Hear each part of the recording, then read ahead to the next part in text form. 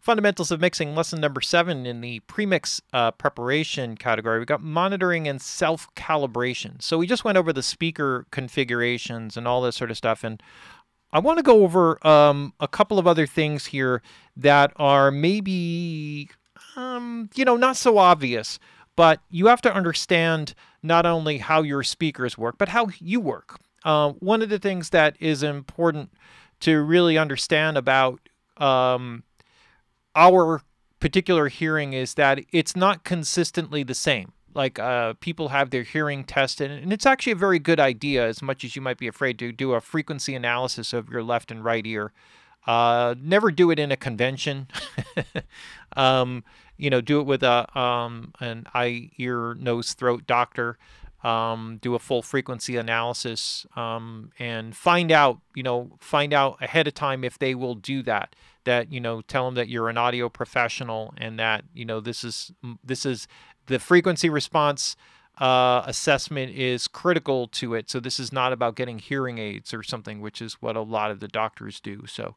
Um, uh, you can also contact uh, there if you look on the website and search for hearing loss uh, then you will you will usually find resources that allow you to connect to somebody who uh, is maybe more audio friendly for things like that, um, and doctors and stuff like that. So uh, do it right if you're going to do it on on that side of things. It's important to know what your hearing capabilities are and if there are deficiencies left and right, what they are, uh, a little more specifically. The thing though is that if you um, you know, if you did that and you just went out and had this huge pancake breakfast before going in to do the test, you may find that your high frequencies show up more poorly on the test uh, than they do if you uh, went in and you had a fruit salad that morning before going into the doctor's office. Uh, what you eat, um, how much sleep you've gotten, uh, you know, or how well rested you are, how generally fatigued you are, um, uh, different times of the day, um, humidity, all kinds of things uh, mood affect your hearing capabilities. So it's something that morphs. It's not something that's fixed or always the same. And it's important to really understand that that our hearing is is not fixed. That it's this flexible, morphable thing. So what happens is is there are certain things. I'm not going to bore you with all the numbers because there's plenty of stuff. But one thing I want to talk about is something called temporary threshold shift. Um, temporary threshold shift, if you look it up online, is uh, designation for hearing loss or temporary hearing loss. So something loud, uh, firecracker, something blows up uh, nearby your head, and then all of a sudden the hearing on that ear all of a sudden gets dulled. It's your brain or your body's way of protecting itself. So the mechanism actually clamps down, shuts down the mechanism because there's something environmentally that's going on that is going to harm the uh, body. So just like if somebody's throwing a punch at you, you're you will uh, tighten up or you will clinch up, you know, as a way of protecting yourself, or you will move in a in a defensive way just naturally, right? Uh, it's not a conscious thing, and so your brain does the same thing, and it clamps down in your hearing. And then usually what occurs afterwards, you get a loud ringing in your ear afterwards, just a little warning sign uh, that some things are wrong. Um, we've all had um, things where we go to a club and our hearing is um, dulled because we're at a club, it's loud, and, and you go outside and you realize that you're still screaming at your friends when you're talking to them, even though you're outside the club and there's no more loud music. and probably one of the worst things that can happen is if you if you listen you know you want to obviously protect your hearing you put in earplugs in a club ideally you want vented earplugs uh, so that it maintains, um, you know, a better balance of higher frequencies.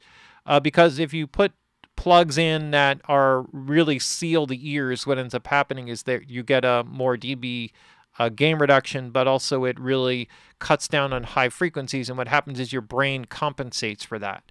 Your brain is always morphing around its environment to make it more intelligible.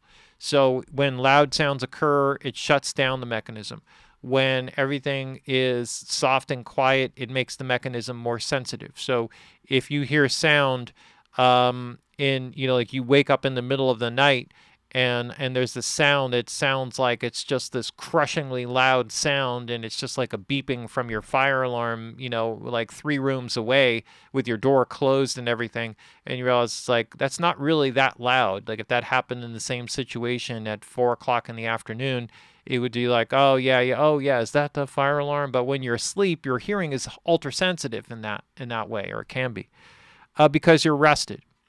And so the sensitivity changes based on the environment.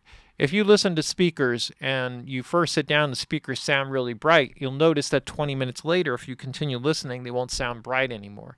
Your brain will kind of balance out. It'll try to intelligence. So what you have essentially with the total threshold system uh, built in is a dynamic equalization circuit.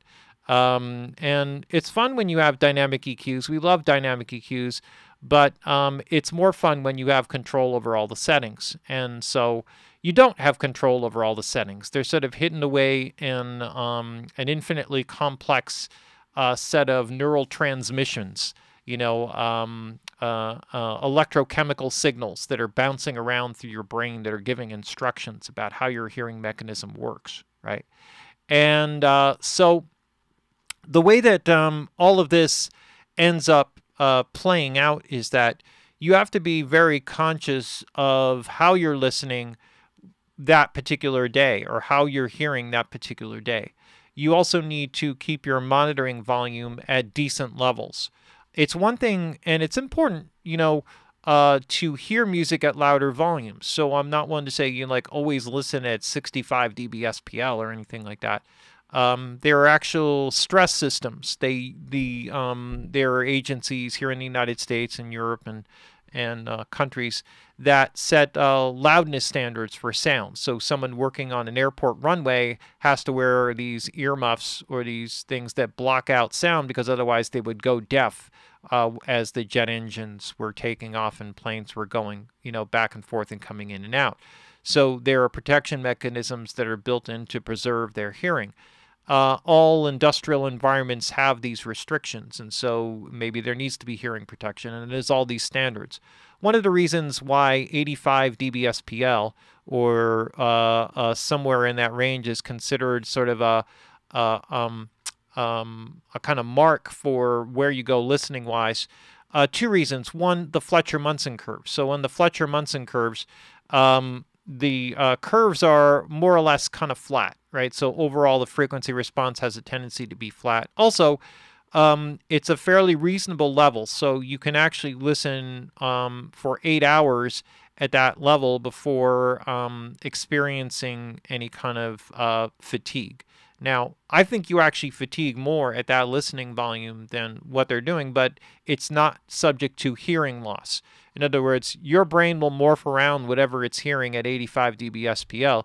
You're not getting hearing loss as a result, but your brain is adapting to what it is that you're hearing. So you've experienced all of this, and I'll explain exactly why. And you'll say, I know exactly what you're talking about. This has happened to me because it's happened to everybody. It's happened to me and it's happened to everybody that I've talked to. And this experience is one where you are working on a mix and you're sort of tirelessly working on a mix and you kind of get it like everything is just rocking you're so excited about it you listen to it you're happy with it it's like oh this sounds good got the low end exactly the way i want high frequencies whatever you know all good all this like got my reverbs exactly way i want and then you come back the next day and you're like oh my god this sounds like hell.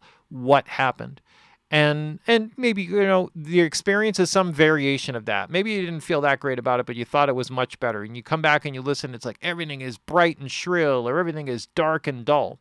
And what happened was that your brain's internal dynamic eq was saying you know what? I don't hear that vocal as clearly so i'm going to make myself more sensitive maybe to 2 to 6k and so it becomes more sensitive to those frequencies and then, so during that time, if you're not taking any breaks, if you're not giving yourself any perspective change during that period of time, and you're listening basically the same way, same speaker is in the same space for a long period of time, you'll end up with some dynamic equalization circuit that's built in that's actually kind of messing with you. So you come in the next day, now your hearing curve doesn't have that 2 to K, 6K cut or boost or whatever, and now you listen and everything sounds dull and dark because the frequencies that that balances off with in the low mids now all of a sudden are really exaggerated. So in working with this, you have to understand that you are a dynamic living being. Um, making final mix decisions after eating a big bowl of ice cream is generally not a good idea. Um, you know, so there are things in terms of your diet. Not saying like, okay, you got to be a vegan to be a good mix engineer. It's not about that. It's about um, saying that you know if you're going to eat, know that there's a period of time where um, you know things are are you know adjusting constantly, and your brain is constantly adapting to the environment. So, what are the ways that you can best deal with things? Um, whenever possible, listen at low monitoring volumes. When you listen at low monitoring volumes, right, and when you listen at low levels, what ends up happening is that um, there's some amazing things about it. One is is that when you listen at low levels, your sensitivity becomes extremely heightened. Um, your brain becomes much more sensitive to the nuances and differences in sound. I sometimes like smaller speaker systems as a result that are supplemented by subwoofers because what ends up happening is that every speaker system has an efficiency range. Um, and it may be worth having a second pair of monitors that are smaller that you listen to at lower volumes. In other words, the efficiency range is not so much in the high frequency driver, but the low frequency driver. In other words, if you have a, a 10 inch driver on the low end, you're going to have to push a certain amount of, of SPL in order for that driver to operate in an efficient area. So, in other words, if you feed a certain amount of voltage into a low frequency driver, uh, there is going to be, and let's just say like this is the low voltage area, this is like the high voltage area.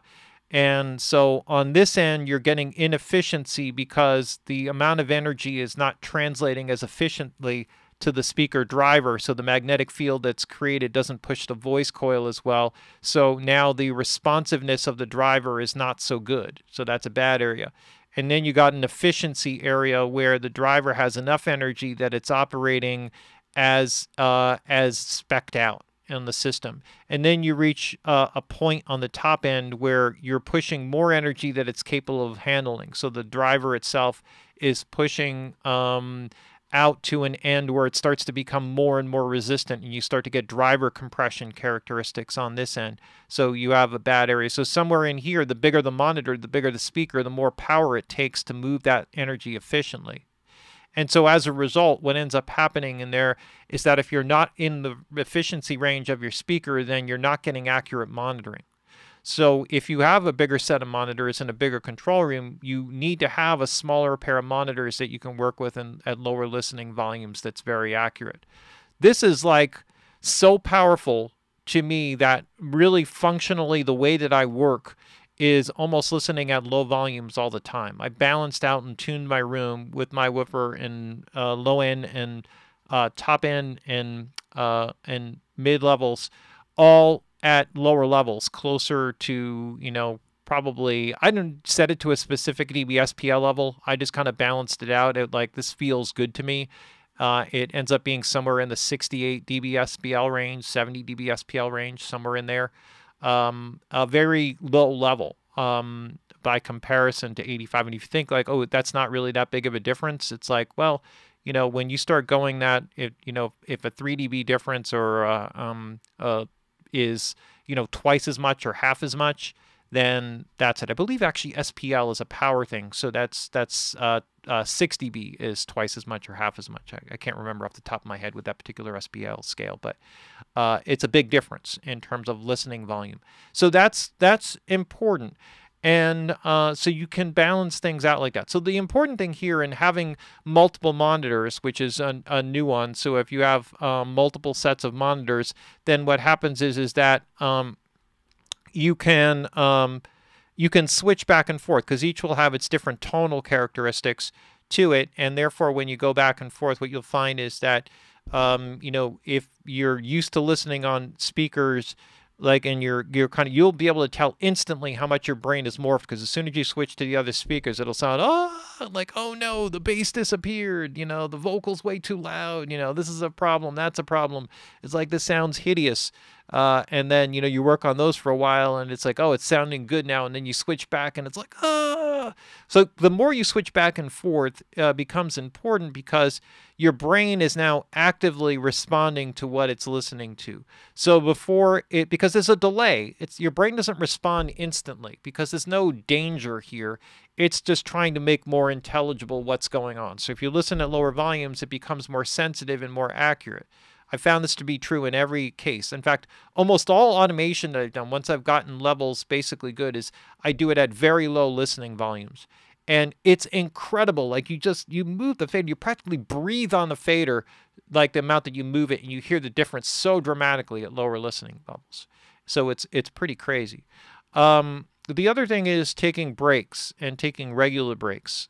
So in addition to this, uh, it's taking a breather. You know, um, I said this rule once, and I'll explain a little bit about this because it's it's kind of a um, uh, it's something that kind of happened by accident. Let's just put it that way. And and uh, um, but I ended up working uh, assisting uh, um, years prior to this particular time when I finally decided to act on it. I had worked with this one engineer who monitored at very low listening volumes. In fact, it was almost so painfully low that I was literally, it's like I took off my shoes and I was walking around in socks in the control room, basically like walking slowly because the just, just the shuffling sound of my socks on the rug was was just like bludgeoning the volume of the speakers. He was listening so low. And the guy had a timer, little egg timer, and every 45 minutes it'd go ding, and he'd, and he'd leave the room and he'd go take a break. And he'd go off in the back or he'd go up, you know, to the uh, you know, um, get a cup of coffee, or he would walk out of the studio for a little bit, or he'd sit in the lounge and, you know, read a magazine, and then he would come back in, and he would continue working, and he fi- finished his mixes very efficiently, very fast, and when we turned volumes up higher, they sounded amazing. It's like, wow, that's really cool. Um, and um, so uh, I never really got a full explanation because he was uh, English was a second language to him, and his English was not very good. So his explaining what was going on was difficult, but I caught the basic concept. And um, it's really, really, really, you know, um, a powerful way to work. So later on, years later, I'm in uh, Whitney's studio. Uh, she had two studios, a commercial studio and a private studio. A private studio was like a world-class facility. The commercial studio was maybe a class B plus kind of studio, basically. But had an SSL. Uh, I did a lot of mixing work. I knew the the faults of the room. Was very well equipped because uh, I helped um, you know decide what gear was in there and and all that sort of stuff, and knew how to work the rooms and stuff. So I did a lot of work there. Got the rooms really cheap, which was also helpful. And I was in there mixing, and I was doing. Um, uh, I was working with this record label, and they were just feeding me singles and it was literally like every day like six days a week i'm getting a new song to work on and i'm pumping out a song a day and i'm just knocking them off one after the other and they just keep feeding me work and this was going on for a couple months and when that type of situation happens one you're just enormously happy because you're just raking in the dough and uh, you know which is cool you know so you're you're uh, at that point you know uh, things are going well financially but what was more important to me was that i wanted to try this where I felt like uh, when I was mixing, if I tried something, it didn't work, tried something else, it didn't work, tried a third thing, it didn't work, I would undo those three things and I would leave the room. I would just like, as soon as like I started to do something and it's like the solutions or what I was thinking was the solutions was, um, um, like, um, not working like the things that i was coming up with it's like oh i think there's something about them like trying these things with the bass and it's not changing the problem i would leave the room walk out of the room i would go you know hang out with the manager or whatever friends I had at the studio, take a walk outside, you know, hang out, you know, um, you know, get something to drink or whatever. And uh, and so then I would, you know, a couple tequila shots, whatever was hanging around the studio, go back in the room, and then uh, hit play on the tape. And almost always, after taking like even like a five minute break, I would hit play and it's like, oh, the problem is with the kick drum. Oh, the problem is with this like room. Like I would hear what the problem was right away. I'd fix the problem and then I would continue mixing. It would be like boom, like instant solution. And what I have found was that the more you work when you start you you have a certain amount of time where you think clearly and then maybe you become so hyper focused on a particular thing that you lose perspective on the mix and so what ends up happening is that you hear a problem and it's like, oh, there's a problem outside this area that I'm so focused in on. It must be that damn bass, you know, because I had a problem with that before. And then you start, you step out of that world and you kind of start doing other things. And then all of a sudden, it's like, oh, okay, maybe that's a little bit better, but it's not really right. And then you keep mixing and then you start piling on problems on top of problems. So then the, so the thing is, is then take you know, taking the break, just that little bit of perspective allows me to clear my head. So now when I come in, I'm not so zoomed in instantly when I listen. I've actually given my brain something else to think about, whatever it is, so that when I walk back into the space and I hit play and um, uh, you know, go back to it, I would hear what the issue was right away. So the breaks are really powerful way of kind of, you know, taking it up. And you'd be amazed, like, just to put it this way, normally for most 48 track mixes, which was what I was doing for this project, it'd be like one 48 track record after another. It would be typically would take me about 12 hours, 12 to 15 hours to do a complete mix that would be finalized for the day, and you would have that one day to do it. When I changed over to this system and this way of working, those same mixes that took me 12 to 15 hours were now taking me 8 to 12 hours or 8 to 10 hours each. And um, because I wasn't making mistakes as I was going along, you know, or I would like when I realized something, it's like, okay, I'm not hearing well, I'll take a little break, come back in. It's like, oh, I hear the problem right away. Now I continue on to the next thing. I was working more efficiently. Um, and that's that becomes a really important thing. So this thing is an important concept because it's a major, major, major trap. And you would only know this if it was something that you were doing every day, all the time, nonstop. You would have this experience. And even then, people would continue to, to exhibit very poor behaviors for years before really changing their habits. Like so many engineers that were making, you know, that I assisted for, that were making records nonstop, one after the other, would just listen at, you know, piercingly loud volumes like all the time. And they would just continue to get records and they would you know make really good records. And it was just like man this is just it's unbelievable. How do you do that? Um, everybody's different um, but you need to be conscious and aware of this and breaks is one of the the way to do it. So uh, those are three basic ways that you can help to manage those situations. Um, and just the real takeaway from this is that you understand that um, uh, there is going to be some some issues that will come up regarding this and you know I just, I just want you to be you know very very aware of it. Now there's one other level of this that i want to get into and this is into using reference mixes. Reference mixes are also a very powerful way of um, of making um, helping to kind of keep you on the the straight and narrow um, what a reference mix is is uh, it's a commercially released professional um, record that you like the sound of that's well mixed. And it's perhaps the direction that you're going with the band. Now i could make this a whole separate lesson here um, and there's a whole art to it. I've even considered making a course that's just on mix mapping you know uh, doing something on this and, and how to analyze mixes and work with mixes and, and do all of that and work with reference mixes because it's very important. Um, the idea of a reference mix is that it defines a direction, um, but when you go about working with reference mixes, the objective is not to match the frequency response and sort of cookie cutter your production the same way. So, in other words, getting the exact same snare sound that they had on that particular record is an insane idea and and will ultimately lead to your destruction. Um, it's never it never works effectively in any way that I've ever found. But what it does is it acts as a reference point. What you want to do is you want to match the intensity and the aliveness and the vibrancy of the production. So when they're played side by side, you say, "Man, okay, this this song feels just as intense and exciting as the reference song. Like my mix feels as exciting as what I go on, and that's kind of what you're matching. So maybe I need a little bit more low end in my mix to drive it. Maybe my drum sound or snare sound needs to be a little bit fatter or, or brighter than the one that's on the other because that's more appropriate to the song and the recording and the instruments that I'm working with. Um, but it's the intensity that you're going for. The other part of the reference mix and having something else in the background is it's a way of correcting the temporary threshold shift that is occurring through your listening and monitoring. It's a way of saying, you know, at some point it's like, man, this sounds really so amazing with all this top end. And then you switch over to the reference mix and it sounds by comparison to what you were doing, right? It sounds very muffled and you realize is like okay that's way over the top because i know this reference mix is really is pretty bright And if I'm that bright, then I'm like screeching, you know, um, fingernails on a chalkboard uh, kind of thing going on. So you want to be very careful about that. So the reference mixes are, are um, important. Now, I had one other segment, and I'm going to divide this out into um, into a separate thing, and it's going to be uh, on uh, mix mapping.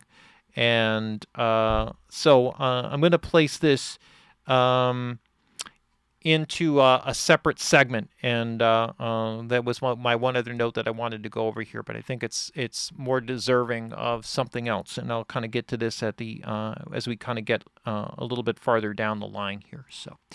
Uh, with that note, um, that, I think that covers the basics of what I wanted to do here. So for lesson number seven in the premix preparation, monitoring and self-calibration.